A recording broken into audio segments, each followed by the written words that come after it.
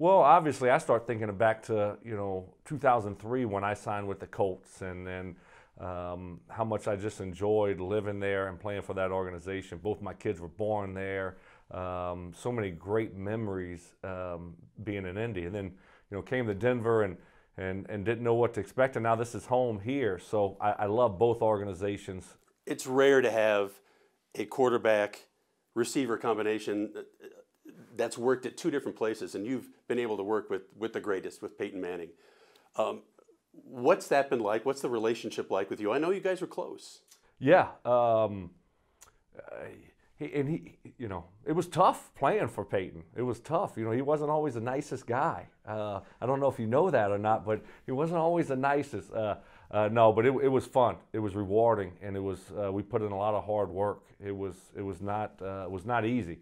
Uh, be, but you knew you put in the work, it would pay off on Sundays, and we had some some talented players, you know, on that offense, and we worked extremely hard.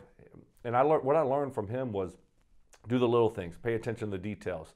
You know, when it says 12 yards, it needs to be 12 yards. Hey, I want you to do this, and there was no there was no gray area with Peyton.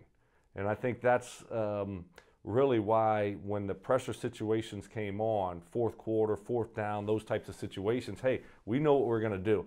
And I know what I'm supposed to do because we've rehearsed it and practiced it over and over and over again. But uh, he just set the standard every day.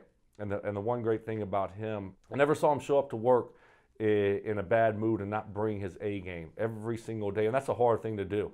Uh, you know, some days you're just not feeling it, but he just brought it every single day. What's his legacy here in Denver? Now you're working in the media, so you work your work with it up front.